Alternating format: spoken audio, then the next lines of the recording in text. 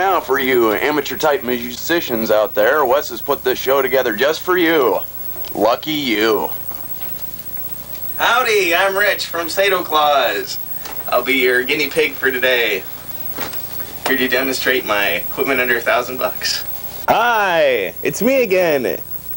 And here to demonstrate my over a thousand dollar set, of course, is me. Let's start with the crate.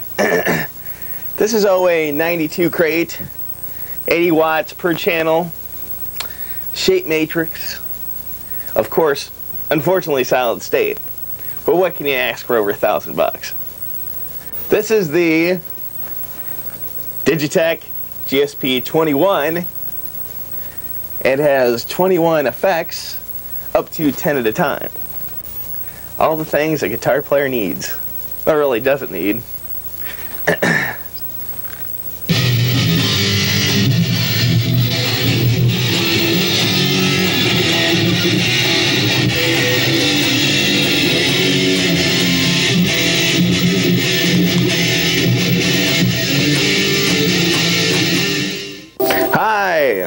it's me again to discuss the advantages and disadvantages of the said crate.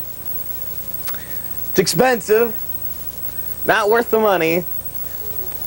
This is about a thousand dollar unit. Uh, it sucks, it's big, it's heavy, it's hard to carry around. I wish I had something a little smaller.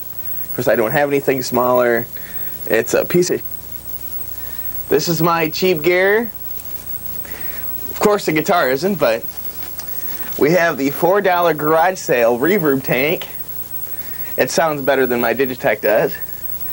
Got the four track recorder, the Pioneer tape deck, which I got at a garage sale for 10 bucks.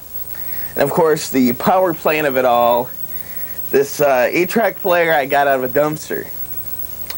CD player someone gave to me. Speakers, EV speakers, probably normally retail about 300 bucks, 15 for the pair. They're my PA speakers for the band. And uh, a little demonstration of the sound of this little monster. Dun, dun, dun. Wrong button. Okay, we're on. Now compare the sound of the Digitech.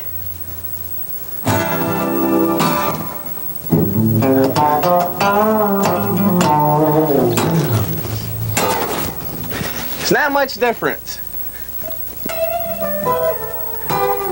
Actually, I think this sounds better. so for like 40 bucks, you got yourself a little half stack with a processor in it too. So I, I'd go with the cheap stuff. oh, of course the guitar.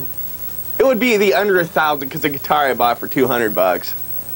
So with the $200, normally retailing for about 12 and the garbage here that were uh, whatever 40 bucks. For under 300 bucks actually you could have yourself a little rig. That's all for today. Bye from Sato Claus